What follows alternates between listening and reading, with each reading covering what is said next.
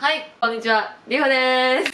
今回は第4回目、強制日記の動画です。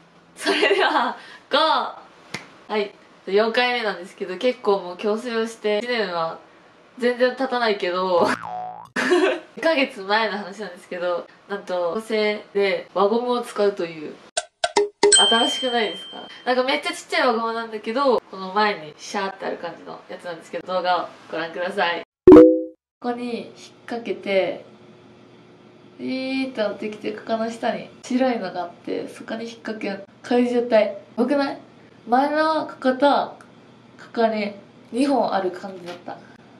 こんな感じで、なんか普通に本当にめっちゃちっちゃい輪ゴムを使って、歯に引っ掛ける感じでやってました。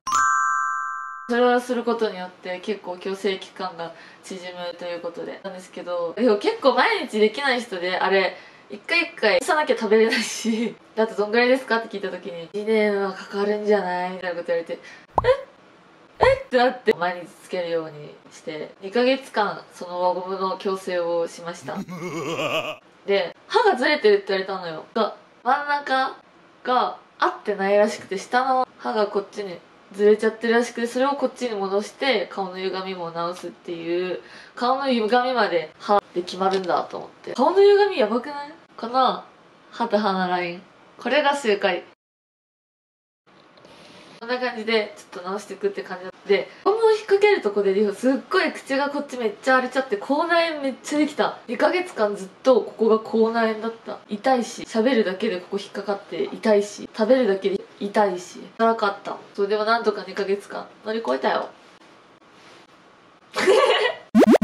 前冷麺を食べてたんですよ私。ガリって言って器具が取れた。見たくない人見ないで。これこれこれです。これが器具。歯に一個一個ついてこれに針金を通したりしてるんですけどこれが取れてこの中の針金も歪んじゃってちょっと見たくない人はここからちょっと見ないでください。この部分の針金がちょっと歪んじゃってすっごいガバガバなの今。食べづらいしすごいの。9月の30日が強制なので早く行きたい。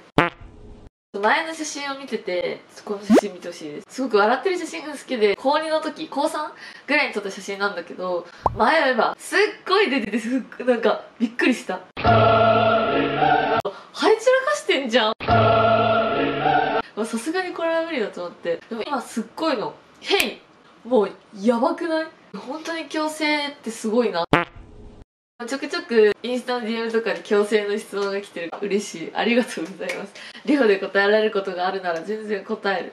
歯本当に綺麗になって嬉しい。ここを見な見たくない人は見ないでください。ここが一家歯かか下の2本抜いたんですけどめっちゃ狭くなってきてちょっと嬉しい。反面これ本当に気になるのが親知らず生えてきたらどうなるの？普通の歯がこう生えてんじゃんね。したらなんかこの横に斜めに刺さっててどうなるんだろうみたいな。絶対でもそれ抜かなきゃ痛いじゃんここ当たっちゃって。はいってな感じの矯正でした。今日はちょっと短いかもしれないです。それでは次の動画でお会いしましょう。じゃあねー。うん。実は今日。ファンの子がくれた指輪。